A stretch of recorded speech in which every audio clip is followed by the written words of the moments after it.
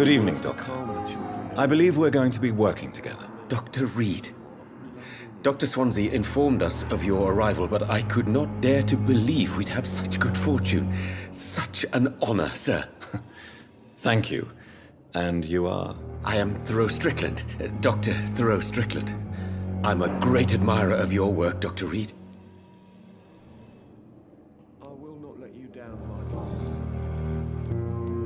What can you tell me about the Pembroke? Well, it has always been an honor to work with Dr. Swansea. But with your arrival, I can't think of a better opportunity to learn about blood transfusion. Do you need help with anything in particular? Well, yes, maybe. I'm waiting for a batch of products I ordered for my personal research, yet my supplier seems to have vanished. Do you want me to play the errand boy for you? Oh no, Dr. Reid. But if you went personally to his shop, what with your reputation and all, he wouldn't dare to refuse the products I need. I see. Well, give me the address, for I may pass by if I have time.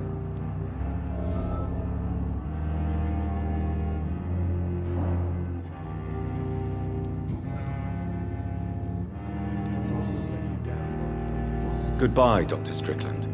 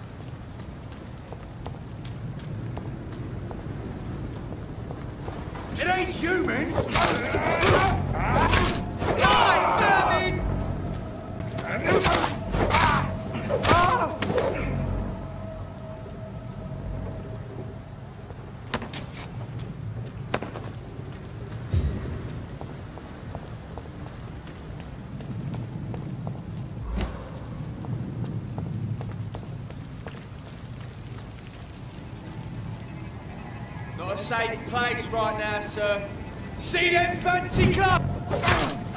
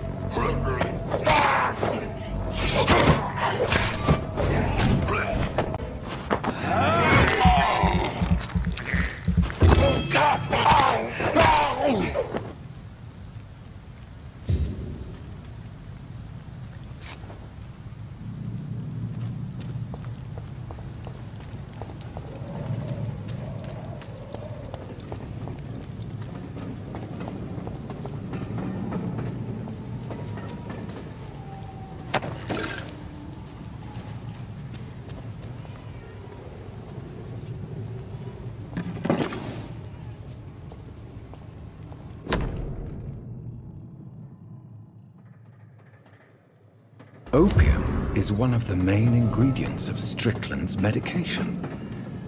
Never a good move.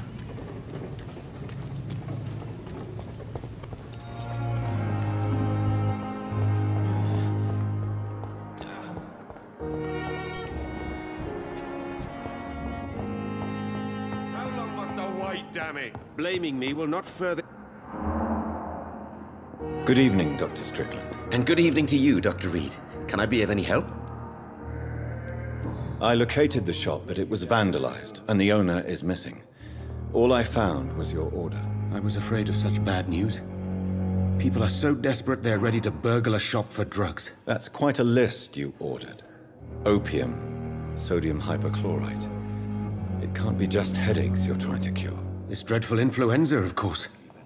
I already ran some tests on hopeless cases. Without success, I must admit. Do you realize you could create a lethal poison without the correct dosage? Then there are the legal ramifications. Is this not true of any medical substance, Dr. Reid? However, if you would agree to improve it, I'd be glad to accept your help. As long as you promise to be scrupulous with your experiments, I may try to gather these substances and even help improve upon the mixture. That's all I'm asking for, Dr. Reid. That's all I'm asking.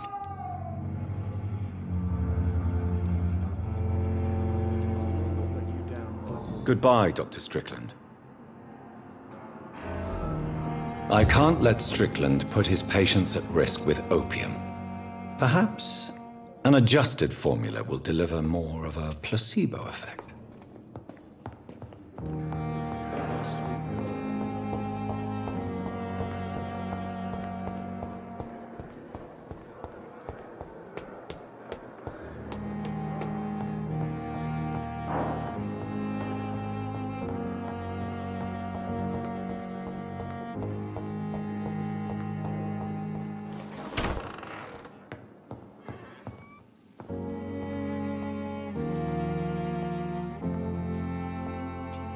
Strickland's project could be dangerous. I have a mind to report him to Dr. Ackroyd.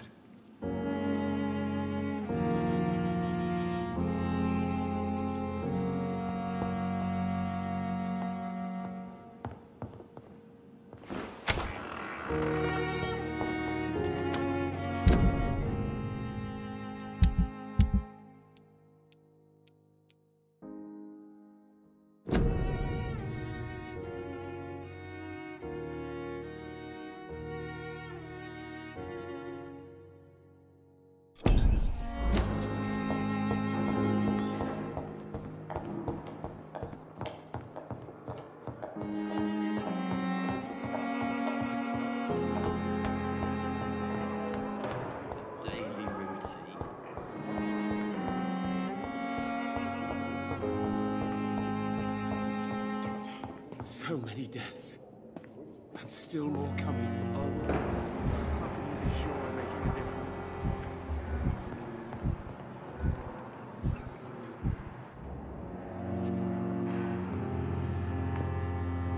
Good evening, Dr. Strickland. And good evening to you, Dr. Reid. Can I be of any help?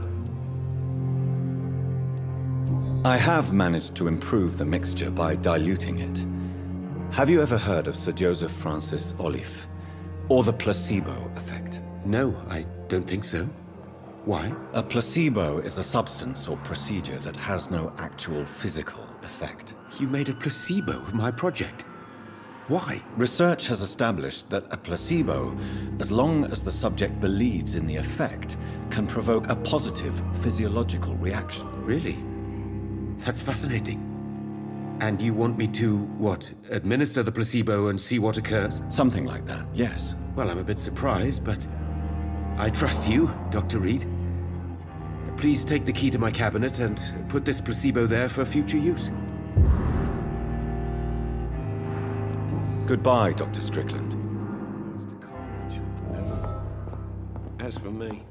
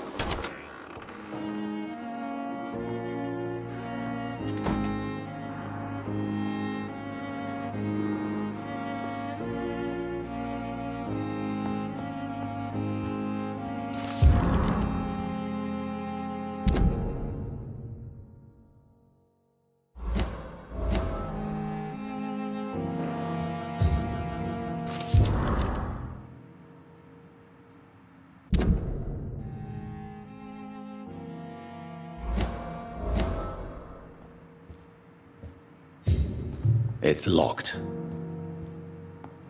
It's locked, all right.